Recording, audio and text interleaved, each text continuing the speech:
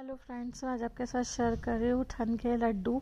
तो इसमें आटा है, ये आटे के बने हुए हैं। इसमें बहुत सारे ड्राई फ्रूट्स हैं, सीड्स है, गोंद है। तो ये एक और गुड़ से बने हुए तो एक थोड़ा सा हेल्दी वर्जन है।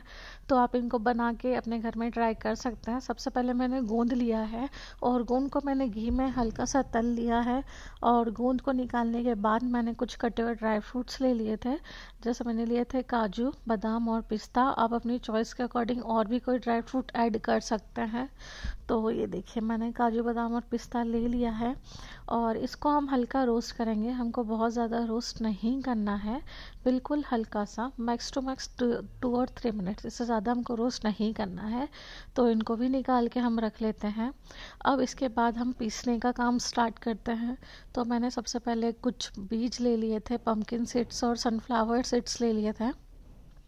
तो इनको मैंने मिक्सी में पीस लिया। साथ ही मैंने गोंद, जो मेरा ठंडा हो गया, उसको भी मैंने हल्का सा पीस के रख लिया है और मैंने ड्राई फ्रूट्स को भी हल्का सा पीस लिया है। बहुत ज़्यादा नहीं पीसा है, थोड़ा पीसा है।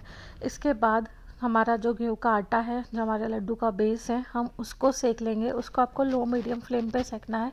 एटलीस्ट आपको आधा घंटा लगेगा बट हमको एकदम लो मीडियम फ्लेम पे उसको धीरे धीरे सेकना है। और सेक के उसको भी निकाल लेंगे। अब हम लड्डू गुड़ में बना रहे हैं तो मैंने गुड़ को अच्छे से मेल्ट कर लिया है। और गुड़ मेल्ट होने के बाद मैंने जो सिका हुआ आटा है, वो उसमें ऐड कर दिया। ये मेरा ड्राई फ्रूट्स था, जो मैंने पीस के रखे थे, चूरा वो ऐड कर दिया। ये मेरा जो सीड्स का मैंने पीस के रखा था, वो ऐड कर दिया और साथ ही में मैंने पीसा हुआ गोंद भी इसमें ऐड कर दिया। और साथ में इसके मैं ऐड कर दूँगी कोकोनट का पाउडर तो ये देखिए, मेरा ये जो पूरा मिक्सचर है, ये बन के रेडी है। और ये मैंने गुड़ में ही ऐड कर दिया था। तो अब हम इसको गर्म गर्म ही हल्का सा चला लेंगे।